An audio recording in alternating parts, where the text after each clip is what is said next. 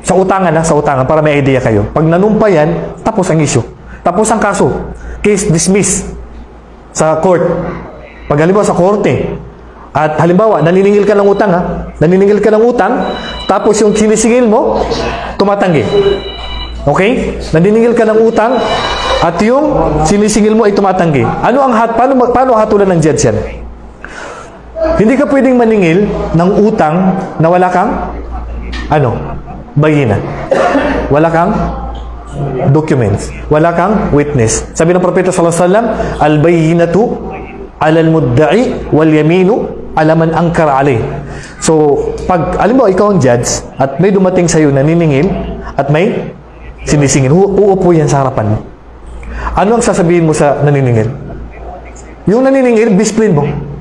At ustads, ulama, Tatanungan mo ng document. at alam mong hindi magsisinungaling yung ustads na yan.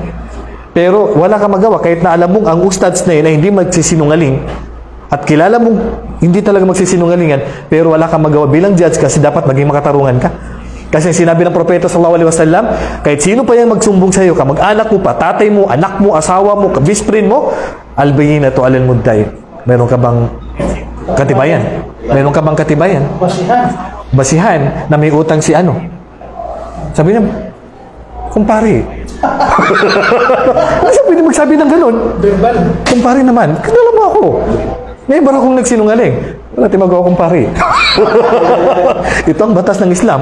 Wala, walang, walang kumpare-kumpare. Hindi ka pwedeng mag pumanig sa sino man na pinakamalapit na tao sa kailangan na talaga ng katibayan. Pasensya na kumpare, wala tayong magawa. Subhanallah. Dito na, pag nanumpa na yung tao, hindi titigil. Kailangan mo nang sumuko. Kasi ang na, nangutang, tatanungin lang yan, manumpa lang yan. Kaya mo bang manumpa sa Allah na wala kang inutang? Magwallahi lang siya tapos. Wal yaminu, sa yun ang ibig sabihin ng yamin. Wal yaminu alaman ang karali, ang panunumpa lang ang sa sinisingil. Yan ang itatanong ng judge. Kaya mo ba? Dahil sa batas ng Islam, ganito ang batas ng Islam makatarungan. Kaya pag ang judge, naniningil ka, tapos hindi singil mo yan, wala kang magawa kahit maningil ka. Kaya nga, ano ang batas sa pag-utang? Kaya sabi ng Allah sa ayatul dain, Ya ayyuhalladhina amanu, idha tadayantum bidainin ila ajalin musamman faktubu, wal yaktub bainakum bil adl. Sabi ng Allah subhanahu wa ta'ala, kapag kayo ay mag-uutangan, ang sunna, which is hindi obligado ha, ang sunna, kailangan ng ka- katibayan. Magsulat ba? Okay, ah, isusulat mo si ano, si witness ganito, ganito, ganyan. So nakasulat dito magkano yung inutang para pagdating ng singilan at itatanggi niya, may may proof na inumutang yan. Pero dahil siyempre tayo, magkakapatid tayo, ah, magbe-best friend, magkakaibigan, hindi natin kailangan na. Kasi alam na natin yung kapatid natin ay papagkakatiwalaan. Pero dahil sa tiwala, minsan yung mga kapatiran natin, yung mga napapalood natin sa social media, nasisira yung kapatiran nila dahil sa utang. Bigla-bigla na lang yung magkaibigan natin nagawin na sa Facebook dahil pinus na niya. Sabi niya, hindi ka na nakukontak ha. Wala na nagkautang, hindi na makontak. Hindi na makita. Na-block ka na dahil sa utang. Dahil sa utang naging invisible, na amnesia, na baliw, at nagkasakit. so dahil sa utang. Kaya, na, kaya nga sabi ko sa paano ko sisingilin? Subhanallah. Kaya napasok na naman yung utang eh.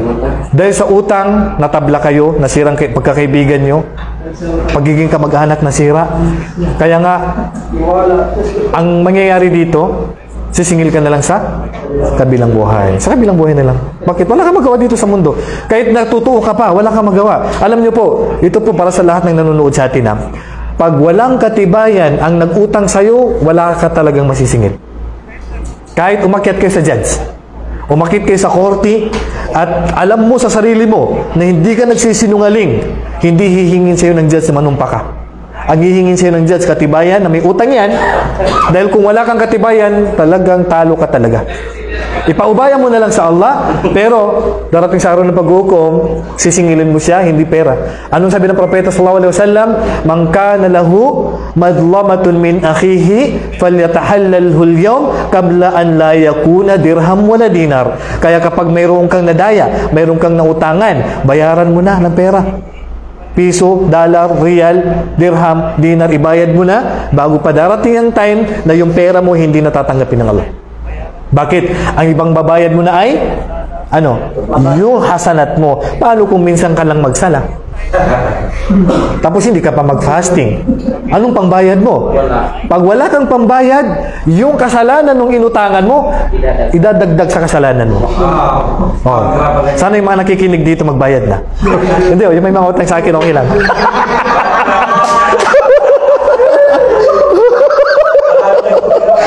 yung mga nakautang, okay lang, huwag kayo mag-alala. Basta sa akin, okay lang. Pero ang problema sa iba.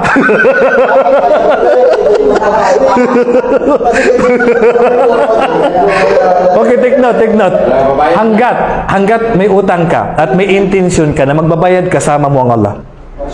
Hanggat may intention ka na magbabayad ka, kaya lang hindi mo pa alam kailan ka makabayad kasama mo ang Allah. Kaya naman sa mga nautangan, sabi ng Allah, wa in kana du usratin wa nadiratun ila maisara ang sunna sa'yo, extend, extend mo lang yung nakautang. Extend mo lang ba? Extend. Pero sana, itong nakautang naman, sana extend mo pa. Hindi puro extension. Oo. So, ang gusto nung nautangan, extension, extension, para makalimutan mo ba? so, hindi naman pwede yung ano, makalimutan. Kahit na makalimutan ng nakautang, tandaan mo, hindi makakalimutan Allah. Makalimutan nung nakautang yan. Tapos mapapadaan ka sa kanya. Na- Nakikiramdam na na sana hindi naman ningil to. ano, ano, ano, ano ang dapat